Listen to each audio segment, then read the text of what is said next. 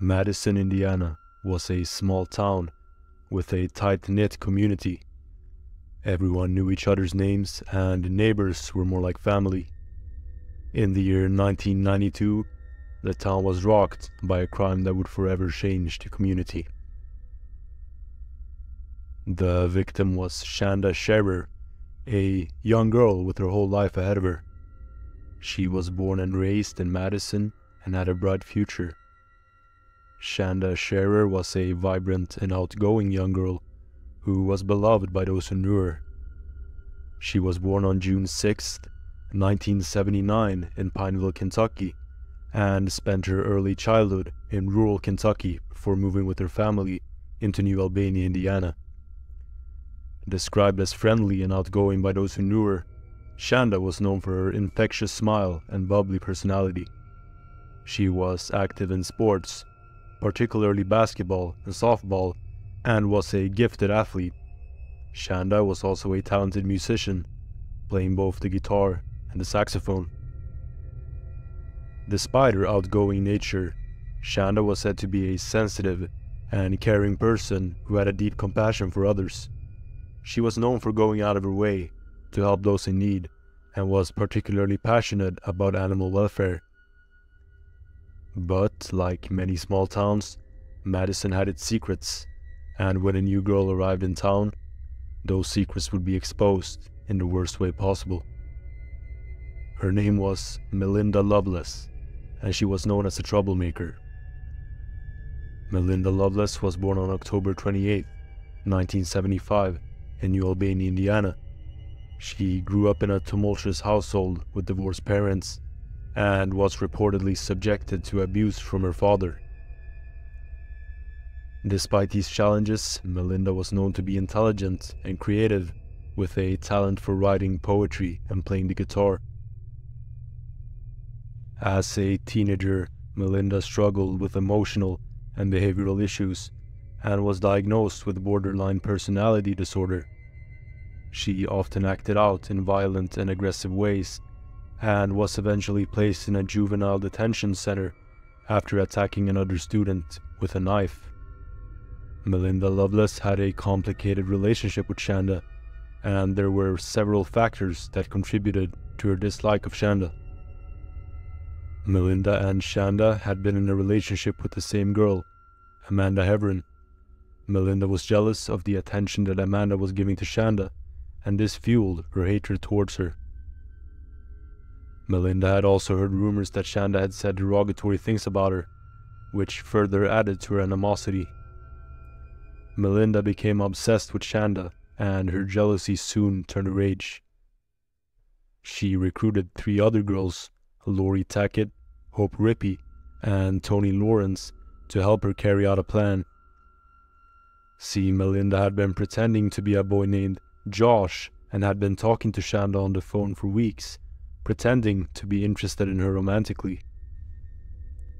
She essentially created a fictional character named Josh Evans, using a photo of a boy she knew from school as the basis for the fake persona.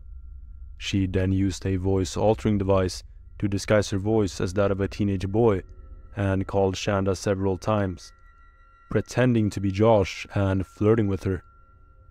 Melinda's impersonation of Josh is just one of the disturbing and manipulative tactics she used to carry out her twisted plan. On the night of January 10th, 1992, Melinda called Shanda and told her to sneak out of her house and meet Josh at a nearby gas station.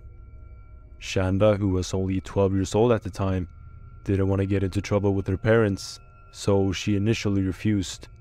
But Melinda was persistent and eventually convinced Shanda to sneak out. When Shanda arrived at the gas station, Melinda and her friends were waiting for her. They told her that they were going to take her to meet Josh, but instead, they drove her to a remote location. Once they arrived at the location, Melinda and her friends began to beat and stab Shanda. The attack lasted for hours, and Shanda suffered imaginable pain and terror. The torture that Shanda Sharer endured at the hands of her attackers was unspeakable and cruel. They repeatedly stabbed her with knives, burned her with cigarettes, and even used a tire iron to crush her skull. The torture continued for hours, and Shanda was forced to endure unimaginable pain and terror.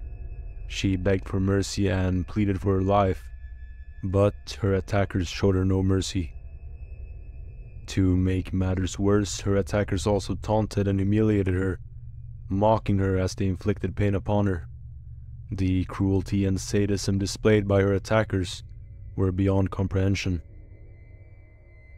Now, the final act of horror came when Melinda Loveless and her friends poured gasoline on Shanda's body and set her on fire. Shanda's screams could be heard from miles around, and her body was found burned beyond recognition. According to reports, Shanda was still alive when her killers doused her with gasoline and set her on fire. The flames quickly engulfed her body, causing third degree burns, and the intense heat also likely caused damage to her internal organs, which could have further compounded her suffering. The torture that Shanda endured was a senseless and brutal act of violence that pretty much defies explanation. Now it serves as a reminder of the darkest corners of human nature and the devastating consequences that can result from unchecked anger, jealousy, and cruelty. It's hard to imagine the fear and confusion that Shanda must have felt in her final moments. She trusted Josh and had no reason to suspect that anything was wrong. But the reality was far more sinister than she could have ever imagined. Shanda Sharer's body was discovered on the morning of January 11, 1992, by a passerby who was driving along a rural road near Madison, Indiana. As they approached a field, they noticed what appeared to be a mannequin on fire. However, as they got closer, they soon realized with horror that it was actually the burning body of a young girl.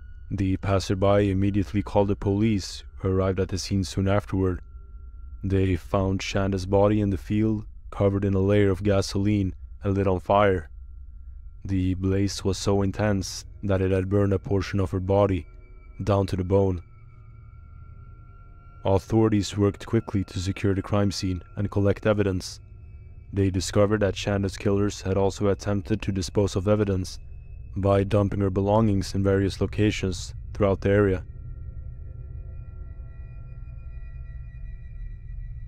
The discovery of Shanda's body set off a massive investigation into her murder, involving multiple law enforcement agencies and hundreds of officers. The brutal and senseless nature of her death shocked the community of Madison and the wider public, sparking widespread outrage and demands for justice.